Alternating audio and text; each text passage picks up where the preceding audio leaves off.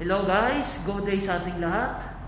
Ngayong araw na ito, ipapakita ko sa inyo kung paano mag-loading ng mais sa bulk carriers. Mamaya guys, lalabas ako doon, uh, bigyan, ko, bigyan ko kayo ng clips kung paano nga ba mag-loading ng grain cargo, particular na sa mais. By the way guys, andito kami ngayon sa ano sa South America, sa Brazil kami ngayon. Uh, kaya yan, may face mask na sa loob, may face mask pa sa labas guys kasi alam na natin ngayong panahon na to, may COVID kaya doble ingat talaga tayo guys kasi mahirap na. Okay guys, pupunta na ako sa labas and we will find out kung anong mayroon doon.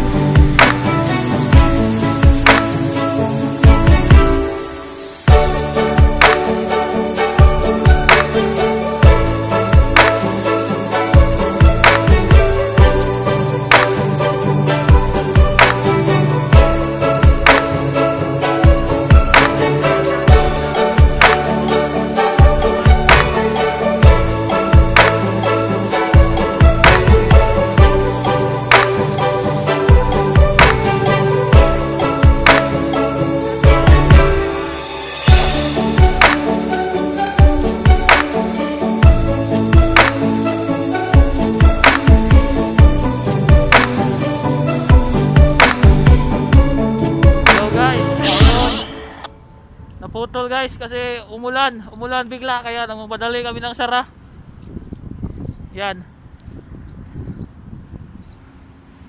Ito, sarado na mga budiga guys lahat.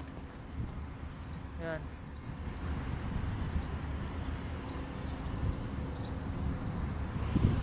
Yan yung mahirap guys pag ano, pag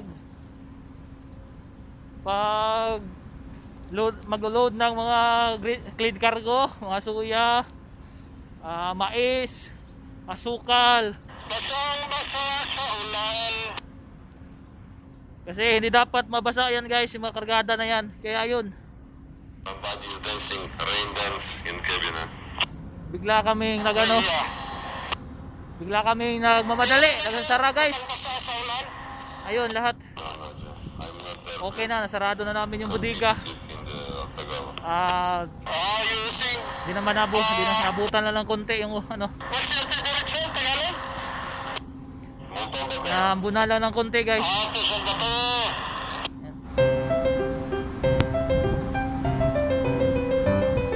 Yan guys.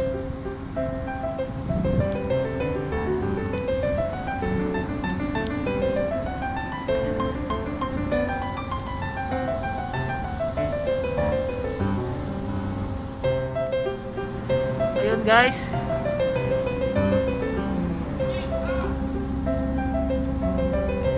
Ayun guys, uh, naka ano na? Naka pa, naka-shade na kami dito sa ano, uh, bandang accommodation. Yan, naulanan kami. Yan, naulanan, nabasa yung ano namin. Uh, uh, coveralls. Ganito talaga guys, buhay seaman. Uh, pag, pag nasa puerto, uh, pag umuulan, pag clean cargo, yan. Expected yan, mababasa ka talaga, mamadali ka. Ganun yung kalakaran dito guys, basta mga bulk carriers. Kasi open man yung ano, open holds man. Dito gaya ng mga tanker guys na naka-close lang yung mga tangke, ah, may mga hose lang. Connect lang sa manifold. Pero ito pag bulk carrier ganito. Ah, bukas yung mga bodega, so open siya. Yan pag mga clean cargo yung mga kargada mo. Ah, mga grains like mais, soya beans, ah, asukal, yan, yung mga kargada na hindi pwedeng ah, mabasa. Kasi pag mabasa yung mga kargada na yan, Yan, hello guys. Ah, andito na ako sa loob ng akomodasyon. Bali, pumasok na ako kasi umuulan naman.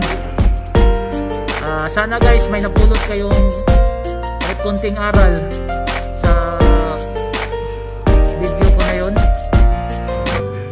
Paano magloading ng mais sa bulk carriers.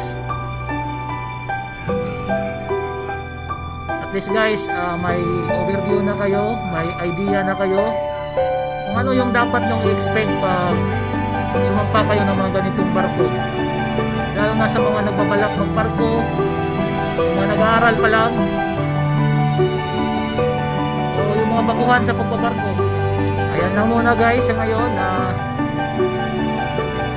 see you sa mga susunod kong vlogs.